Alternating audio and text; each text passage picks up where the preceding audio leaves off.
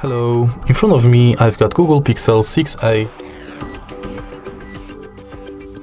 In this video I'll show you how to use Google Assistant on lock screen.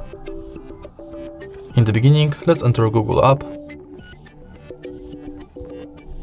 Tap button in the top right corner. Go to settings and enter Google Assistant. Now enter voice match and enable Hey Google option. Tap next, agree and continue. Now let's try it out. Hey Google.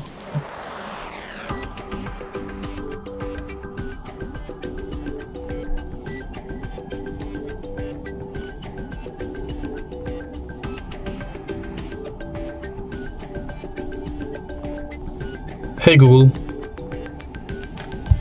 Now that you are sure it's working, let's go back and go to lock screen. Tap yes and make sure this function is enabled. Now you can simply lock the screen and say, Hey Google, what's the weather like tomorrow? There will be scattered showers with a high of 75 and a low of 56. And that's it. If you find this video helpful, please leave like, comment and subscribe.